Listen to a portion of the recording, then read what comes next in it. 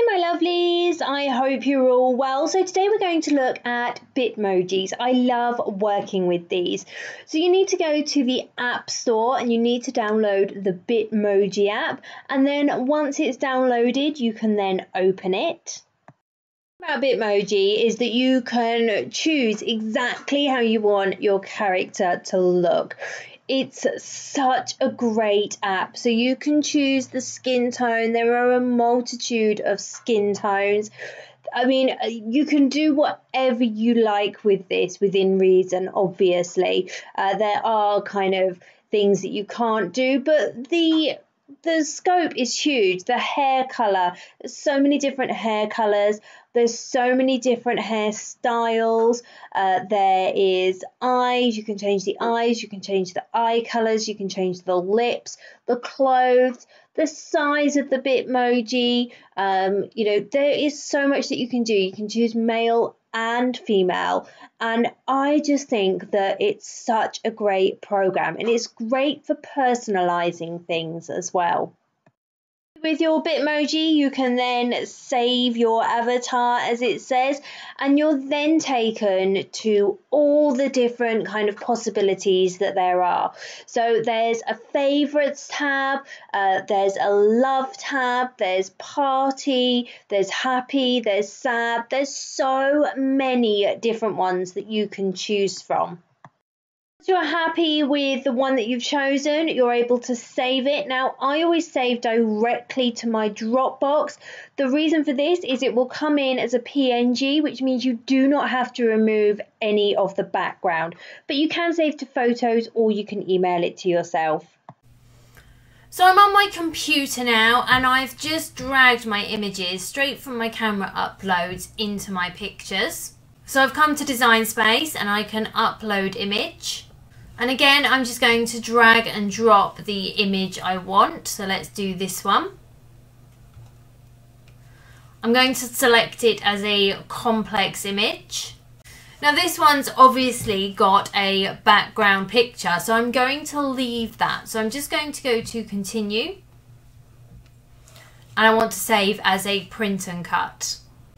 So let's choose another one. So if we go to upload image, Again, I'm going to drag and drop, so I'm just going to get my pictures up. Let's choose this one. I'm going to save as a complex. And you'll see that our background has already been taken out. So if we go to continue, and we can then save as a print and cut. So you've got a few options. You can have them just print and cut as they are. So this one will obviously just cut out this whole image. This one, it will cut out my person and then it will cut out all the hearts. And then again with this one, it will cut out the hearts and it will cut round the cat and the person. So if I wanted it to go on, say, an acrylic block or something like that, I could go to shapes and I could grab, let's just say a square. Let's change the color to white and we're going to arrange and center back. We can then bring our square and make it the size of say our acrylic block and then all we're going to do is highlight and flatten. So it will then print out the image, but it will only cut out the block. So this is going to go on a wooden block. So I've got my Bitmoji, which I'm going to do in Cricut printable vinyl. I've got my text here, which is Samantha. And then on the back of my wooden block, I've got my text here, which is the skinny.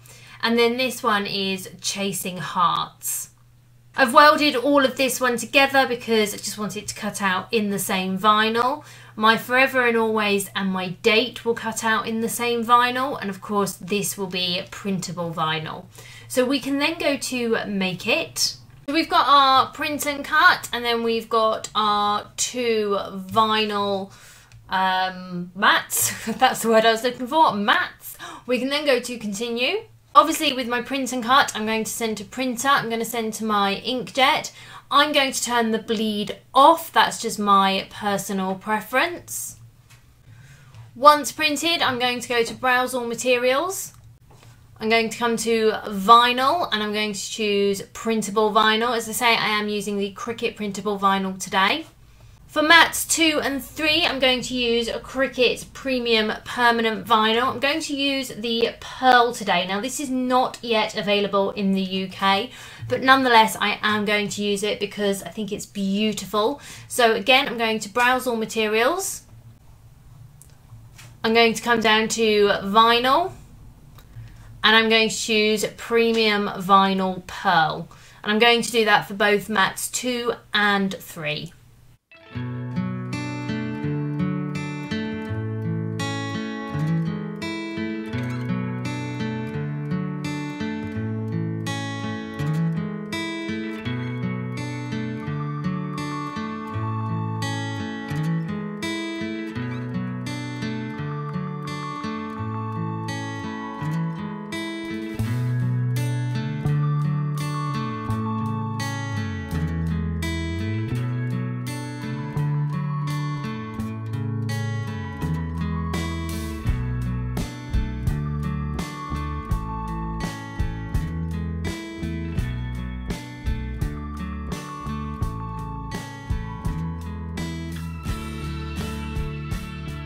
Got a wooden block here. This is just a plain wooden block from Made by Tree. And of course I've got my printable vinyl Bitmoji. And then I've got my two pearlescent premium permanent vinyl. I've got some paper transfer tape here. This is from the tape which you can get from MDP Supplies. When using inkjet printables, if I'm going to use transfer tape, then I always use paper transfer tape just because you will end up with some ink transfer. And of course, with the paper transfer tape, you're going to end up with less ink on there than you would normal transfer tape. I've got a little overlap here, so I'm just going to place that over so that it overlaps onto my transfer tape that's already laid down. I can then go in with my Cricut Fabric Brayer. As anyone that watches me knows, this is my favourite tool. It's one of my favourite tools. I've got a few tools that I couldn't live without, and this is absolutely one of them. I'm just going to turn it over and do it from the back as well. And then, of course, we can come in and just peel away. We're going to add it to our wood block, and again, we're just going to come in with our Fabric Brayer. Because I've overlapped this piece, I'm going to remove it first. And you can see we've got a little bit of ink transfer there with the darker black colour. But it doesn't actually affect our picture. We're then going to come in and just start gently peeling. And again, you can see we've got a slight transfer here just on the outline areas, um, which is why, as I say, if I'm going to use transfer tape, I use paper transfer tape.